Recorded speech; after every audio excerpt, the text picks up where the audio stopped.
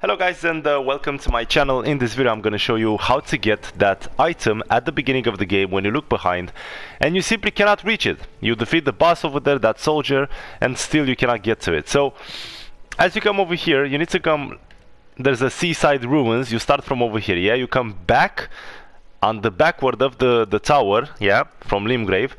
You come over here, there's the seaside ruins and you gotta look carefully and you're gonna see it's hard to see this one, by the way. You're gonna see this one, and it tells you you can drop with the horse. Now you come over here, and by the way, extra hint for you, you're gonna find an enemy over here. Gonna defeat him. You're gonna get the Ash of War Gravitas. It's actually this enemy over here. And then moving on, going straight ahead, you can see an entrance over here. And you can enter, obviously with not with the horse. And let me just uh, light the area a bit. This way we can get to see a bit more clearer and you get to the to the item that you left behind. You see? This one.